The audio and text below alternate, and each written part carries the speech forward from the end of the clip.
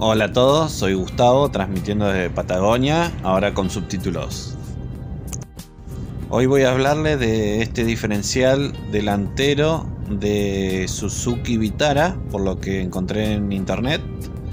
Eh, lo voy a desarmar para que ustedes vean y voy a hacer una pequeña armada y al final del video les voy a contar un pequeño secretito de este diferencial.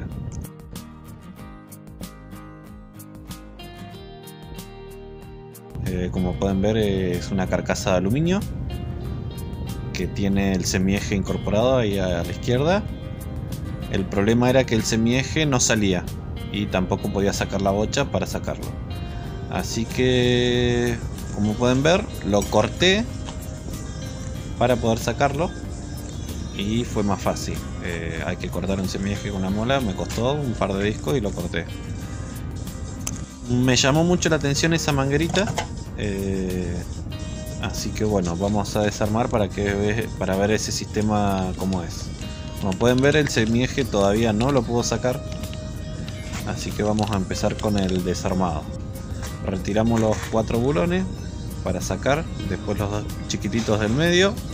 Para poder sacar el núcleo a ver si cómo se desarma ese semieje. Así que bueno, ahí les muestro que saqué los dos bulones de arriba para sacar el núcleo. Acá les muestro un poco con cámara rápida lo que saqué. Saqué los cuatro bulones. Así sacaba el núcleo y veía todo ese sistema de mangueras a ver qué era. Eh, mi primera suposición es que es un sistema de bloqueo. Eh, hasta este momento no averigué nada por internet a ver qué es. Pero me interesa ver cómo funciona. A ver qué se puede llegar a hacer con el diferencial primero que nada a ver si lo podemos recuperar y segundo a ver qué vida útil le damos. Me gustaría ponérselo a mi camioneta, pero no sé si va a dar. Como pueden ver, ya saqué las carcasas.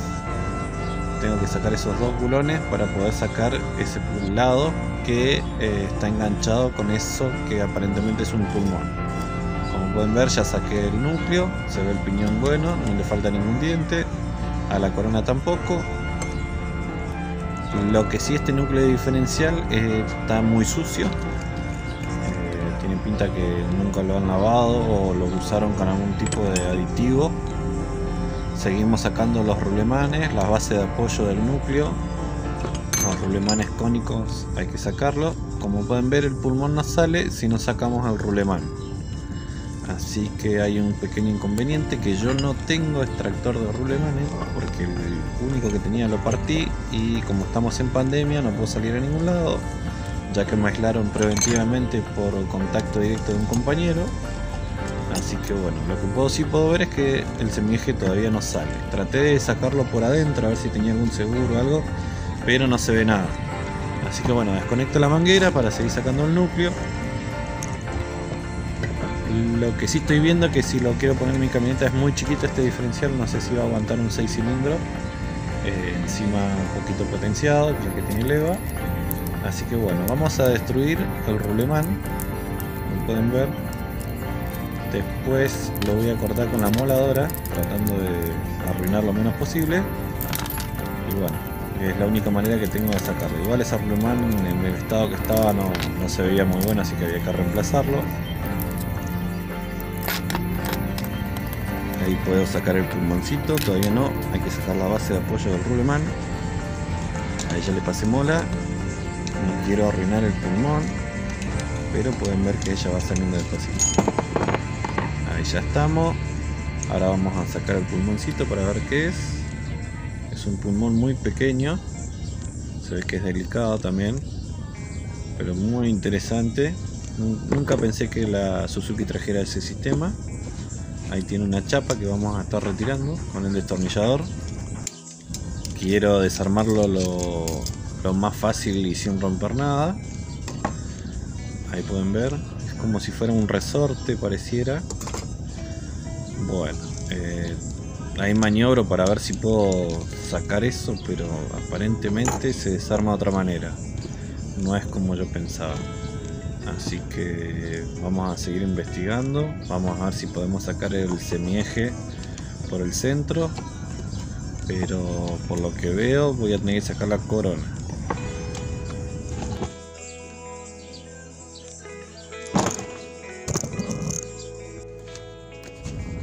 Bueno, después de probar mucho, esta es la mejor manera que encontré para aflojar los bulones que están apretadísimos tiene idea de la fuerza que tengo que hacer para aflojarlo y encima no, no tengo cómo agarrarlo. Tampoco quiero arruinar nada más. Así que bueno, morsa, los tacos de madera para que no se gire y doble llave. Una que haga contra y la doble con una extensión. Y ahí van aflojando.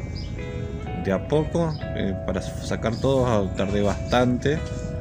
Eh, usé una llave de, 14 y una de 9 16 y después una extensión para allá. Me puse los guantes porque ya zafé varias veces y me lastimé las manos.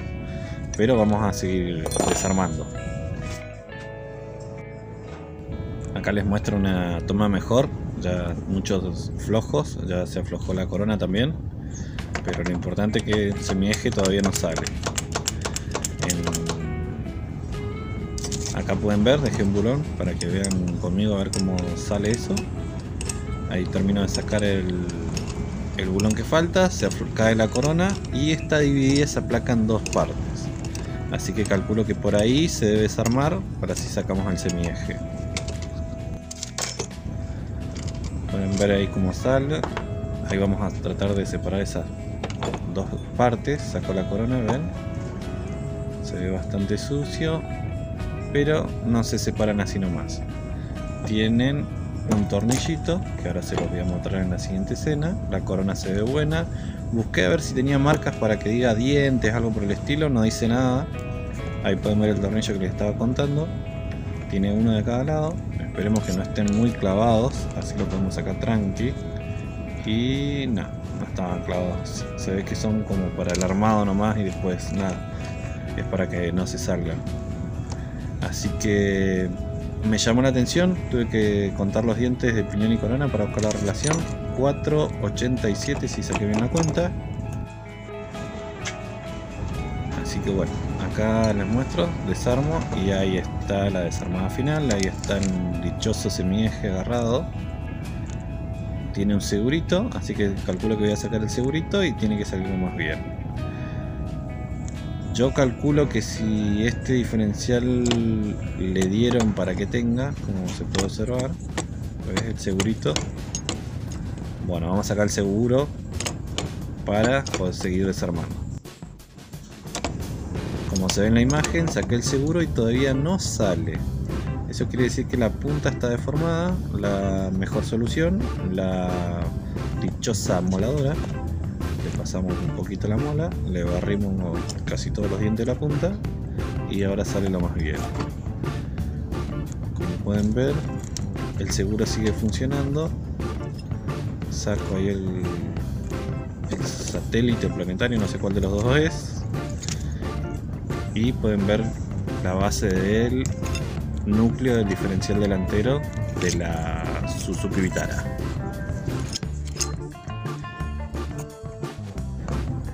Ahora seguimos con esta parte. Como pueden ver, eso se mete para adentro, así que tiene que salir por el otro lado. Eh, entra muy justo, no sé si está sucio, deformado o qué, pero me costó bastante hacerlo bajar. tuve que pegar unos golpecitos con una llave, con otros tres, cosas de que baje y salga por el otro lado. Bueno, eh, me costó bastante sacarla. Hoy se me cayó el celular, no me importa. Eh, ahí salieron, salió la base del núcleo y ahí queda una parte para sacar. Como pueden ver salieron los satélites, los planetarios, pero queda esa horquilla chiquita, dentada, adentro. Como pueden ver está re sucia, o sea que nunca funcionaron esos dientes ven que está llena de mezcla de aceite, barro, no, se puede distinguir más o menos qué Pero se limpia con facilidad, detornillador y tranqui, de los dos lados.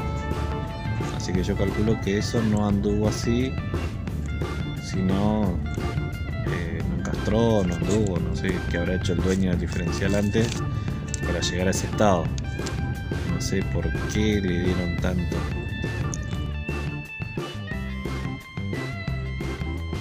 Ahora como pueden ver le pegamos una lavada a todo el diferencial.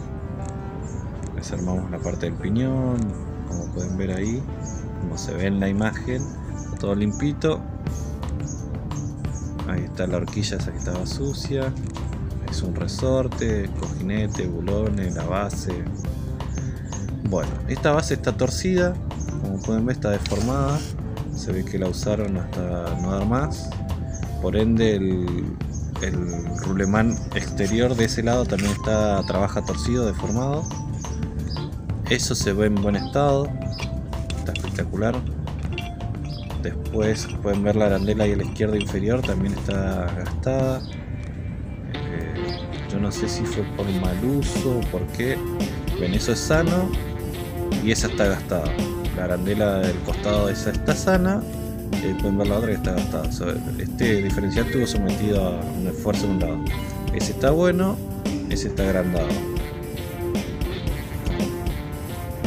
La corona, eh, como pueden ver, está decolorada, o sea que estuvo trabajando posiblemente sin aceite. El piñón igual está descolorado, pero aún así todo les voy a mostrar cómo funciona esa parte. Yo calculo que esa es la parte de los eh, tubos mágicos que desbloquea el núcleo, entonces eh, las ruedas giran libre y no funciona ni la piñón, corona, nada por el estilo. Como pueden ver, meto esa horquilla para ese lado, entra hasta el fondo. Tienen que entrar así así hasta el fondo, entra muy jugado, tendría que haber entrado aceitado por lo menos, así ya hace una mini capa de película. Pero bueno, para mostrarles a ustedes lo, más limpio posible. Como pueden ver, entró hasta el fondo. Ahora le voy a poner el resorte que va únicamente con la mano, pero tiene que hacer un clic una vez que entra bien hasta el fondo. Cuesta un poquito hacer que coincidan los cuatro al mismo tiempo sin que se caiga la horquilla para el otro lado. Como pueden ver en el video, cuesta un poquito, pero una vez que encastra se van a dar cuenta porque hace un clic.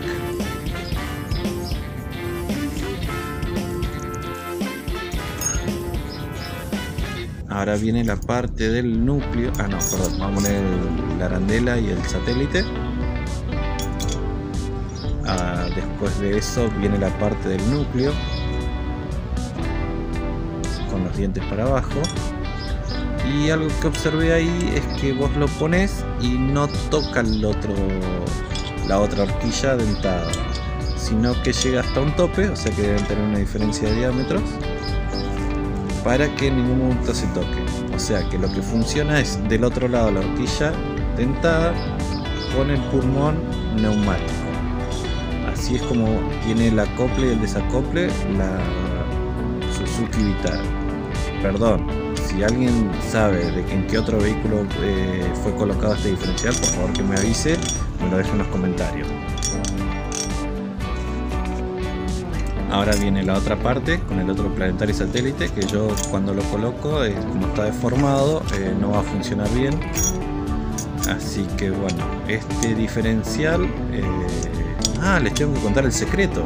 Bueno, el secreto de este diferencial me lo encontré en la basura. Estaba en el estado que se ve al principio. tengo pensado darle una segunda vida. Estoy pensando en un malacate mecánico este tamaño me viene al pelo y así que voy a tratar de recuperar, eh, recuperarlo para eh, pocas vueltas. O sea malacate gira 30 rpm algo así. Eh, espero que este video les haya servido. A mí me sirvió para conocer cómo funciona. La parte del pulmón seguramente no la voy a usar. Otro dato si alguien de Comodoro me lo quiere cambiar por otro común no me enojo, eh, se lo entrego como está, por uno común, que esté completo y que gire bien. Bueno, espero que el video les haya servido para sus proyectos. Eh, recuerden que siempre transmito de Patagonia. Saludos a todos, miren mis otros videos, que la pasen muy bien.